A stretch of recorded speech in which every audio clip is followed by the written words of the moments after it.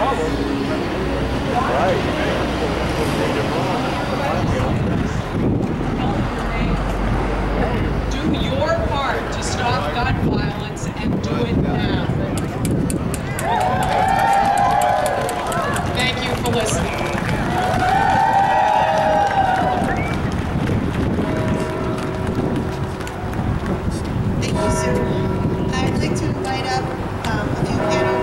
school students.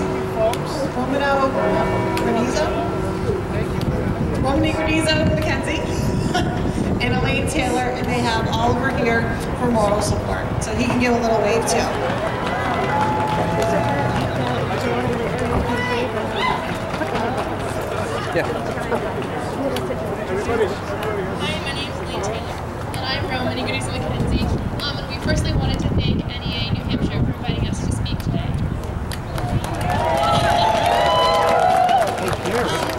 I know you know the law in this state fairly well. clubs and the Silence Remain You know the law in this state these street probably clubs fairly because well. Is it ever suffer in illegal silence from mental for me to swear It's time to break that silence. in this state It's time to public? end the suffering of those who are I was just informed that protection was. of mental health. Yeah, I'm pretty sure it's The motto protected Edinburgh High speech. School is hearts, minds, and Yeah, I was just informed by the police that it's illegal. High School the most accepting I've heard cops say that before, but I've never heard anyone get arrested Well, for that's it. why I'm I'm still over here and I'm still so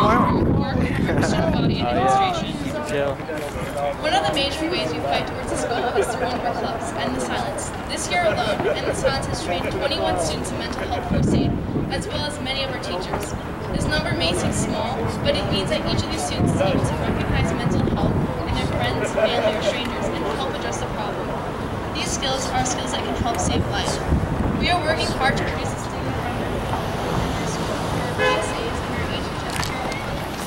So the after party for 420 is down at Area 23, so that's where I'm going to be heading, meeting up with some folks. And as you can see, there's still people here for the uh, anti-gun thing.